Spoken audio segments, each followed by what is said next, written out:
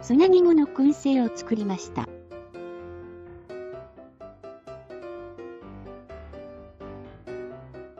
材料の砂肝です。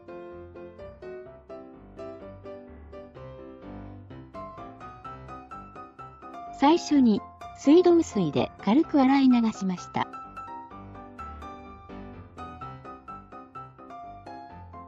砂肝の筋、銀皮を取ります。砂肝を逆さに置いて、片方のコブの際に包丁を当てます。ここから包丁で筋を削ぐようにスライドさせてカットしました。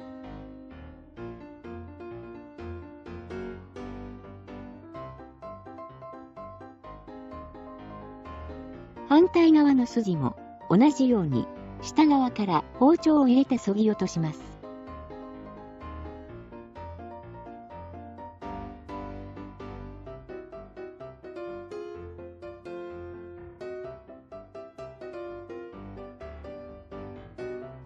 残った筋を切り取りました。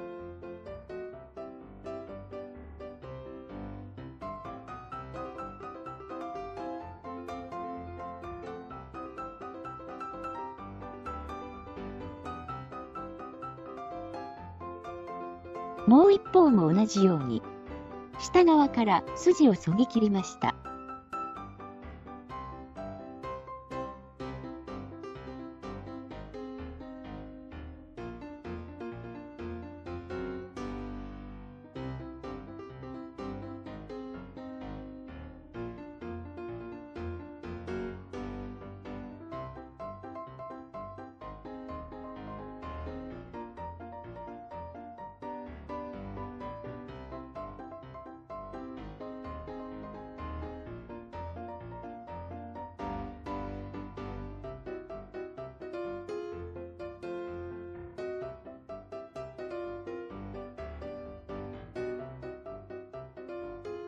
参考までに。以前は筋を指で剥がしていました。砂肝の上の方からアプローチします。親指の爪を白い筋の際に強く押し当てて筋を剥がします。片方のコブをちぎり取ります。反対側の筋も同じように親指の爪を強く押し当てて剥ぎ取ります。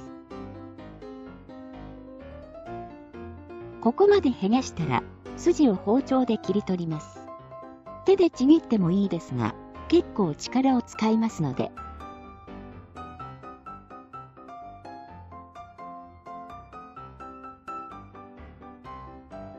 もう一方のコブの筋も、同じように、親指の爪を当ててへがします。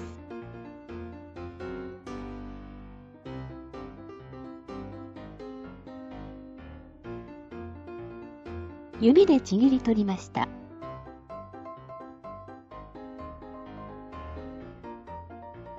残りの筋も爪を押し当てて剥ぎ取ります。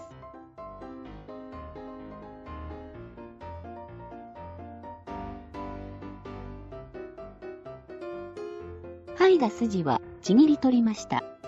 しかし、包丁でカットした方が余計な力を使わず楽だと思います。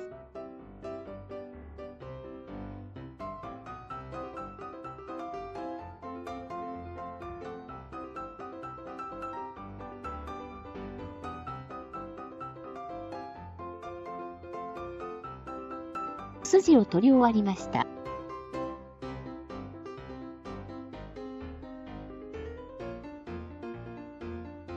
塩漬けには保存袋を使いました。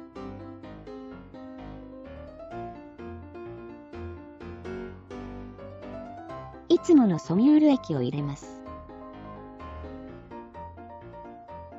続けてスライスした玉ねぎ、ブラックペッパー、すりおろしニンニクを入れます。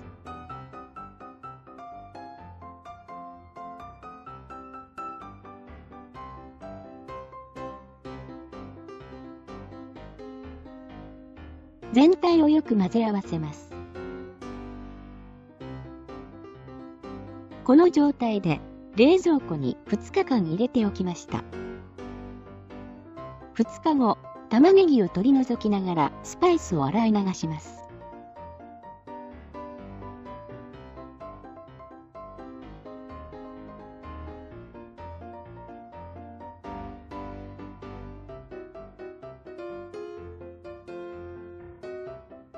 ボウルに砂肝を入れたら水につけて塩抜きを始めます。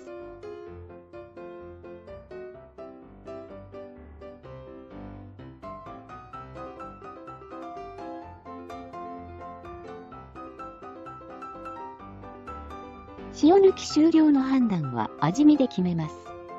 水につけてから5時間程度経った頃に砂肝の一部を切り取って加熱して味見してみます。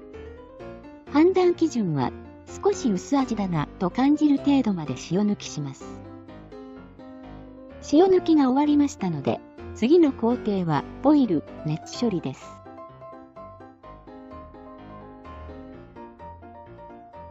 75度前後のお湯で15分間ボイルしました。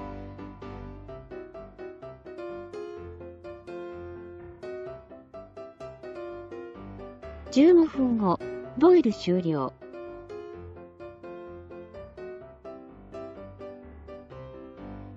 水分を拭き取ったら、網に並べて表面を乾燥させます。なくても良い工程ですが、表面にオリーブオイルを塗りました。仕上がりの色が良くなります。10個だけ塗りました。30分程度風乾燥した後にいぶします。今回のスモーカーです。ユニフレーム社。フォールディングスモーカー600。東芝の電熱器。スモークウッド。桜です。スモーカー内の温度を70度から75度に保ちました。温度調整に電熱器を使用しています。スモークウッドは桜を使いました。噴煙中の砂肝の状態です。この状態で2時間いぶしました。2時間後、噴煙終了。